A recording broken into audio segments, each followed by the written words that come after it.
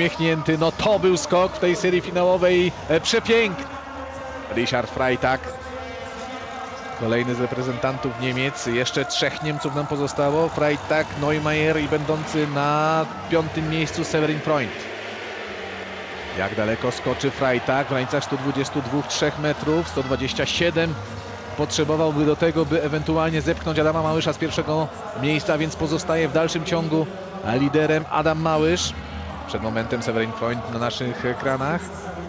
A to 122 metry Freitaga. 1,9 punktu za wiatr. A więc podobnie jak i w pierwszej, tak i w drugiej serii w niekorzystnych warunkach skakał reprezentant Niemiec.